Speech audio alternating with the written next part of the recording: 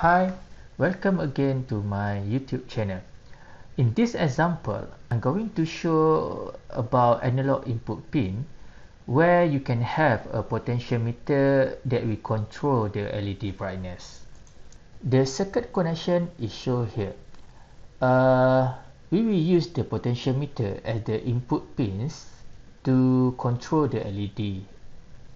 The potentiometer is connected to the pins uh, ADC0 and then the LED is connected to the pin D7. In order to read the analog voltage from the potentiometer, we need to call the function analog read. Okay.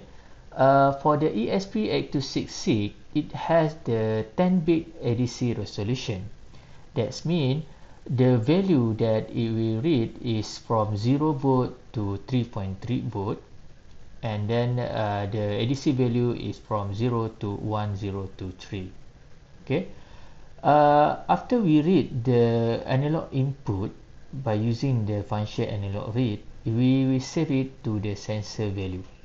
And then uh, the value uh, will pass to the uh, LED pins through the PWM function which is the analog write let's construct the circuit connection.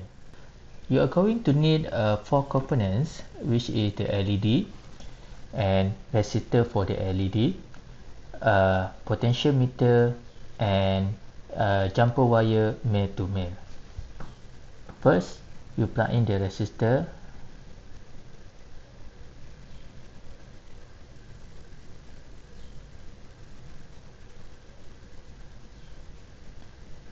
then the LED make sure the uh, connection positive and negative of LED is correct.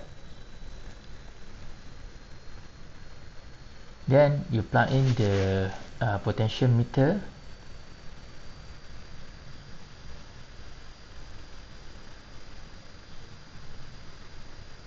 and then you put the uh, jumper wire to the three uh, leg of the potentiometer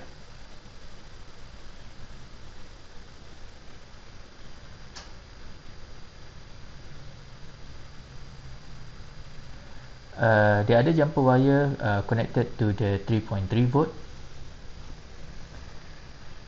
And then uh, the second one is connected to ground.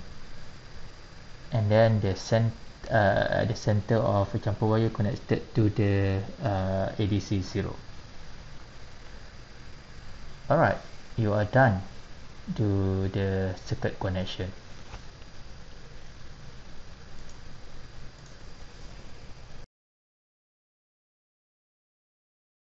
After you done write the coding, you can press the upload button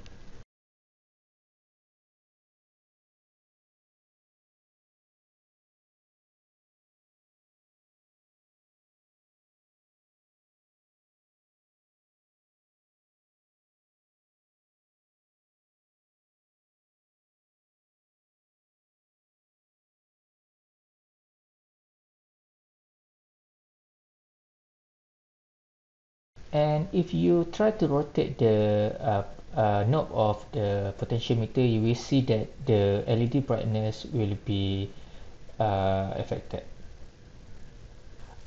Alright that's it for this tutorial. See you again on the next video